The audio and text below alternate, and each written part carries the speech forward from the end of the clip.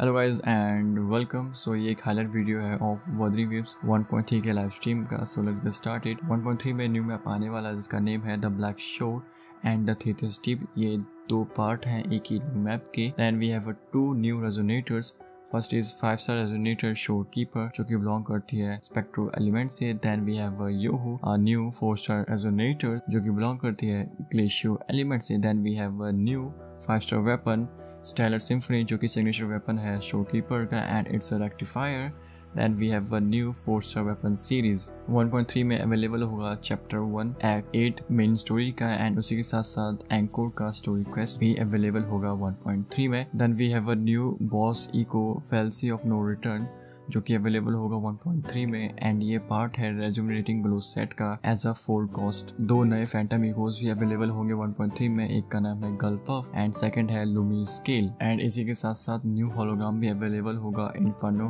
Rider का इन 1.3 सो अब बात करते हैं 1.3 में कौन कौन से इवेंट अवेलेबल होंगे। 1.3 में टोटल एट इवेंट अवेलेबल होंगे। सो फ़र्स्ट ऑफ़ ऑल है seven day log in event जिसमें आपको मिलेंगे five standard pulls and five limited pulls second event है फेरी टिल फिनाले को बैटल चैलेंज ये मोड इलिसी रेलम की तरह ही बट इसमें आप अपने दोस्तों के साथ कॉप मोड में इलिसी रेलम क्लियर कर सकते हो। थर्ड इवेंट है where star slumbers area exploration event fourth event है infinite simulation area battle challenge fifth event है Lollo campaign return commission event six event है amidst the star photo collection event seventh event है Solaris forecast parkour collection event इसमें ये parkour आपको challenges करने होंगे to claim the reward and last event का name है रेट्रो गेम कलेक्टर इसमें आपको फाइव टोटल एनिमीज को डिफीट करना होगा and each enemy will give you three treasure chest so ये थे हमारे टोटल एट इवेंट्स जो कि अवेलेबल होंगे 1.3 अपडेट में. नाउ बात करते हैं ऑप्टिमाइजेशन एंड चेंजेस जो कि होने वाले हैं 1.3 में. सो so, पहला चेंजेस वो है ये है कि पहले हम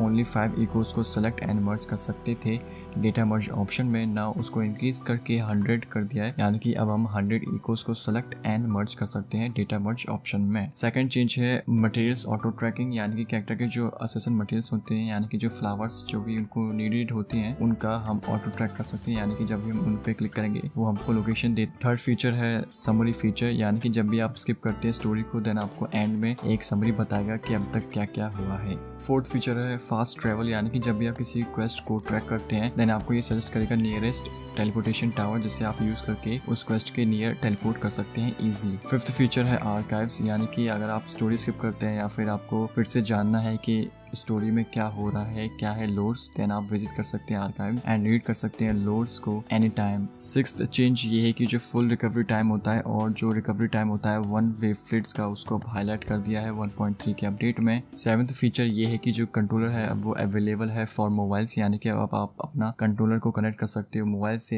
and you can play Wuthering Waves that's it for this highlight video of 1.3 live stream अगर आपको ये वीडियो पसंद आया हो कि वीडियो लाइक शेयर करो ये वीडियो अपने दोस्तों के साथ जिसने अभी तक 1.3 का लाइव स्ट्रीम नहीं देखा हो। एंड मुझे कमेंट में बताओ कि आप 1.3 में किस चीज़ के लिए एक्साइटेड हो? कैरेक्टर के लिए मैप के लिए, या फिर जो इतने सारे इवेंट्स आ रहे हैं, उनके लिए कमेंट बिलो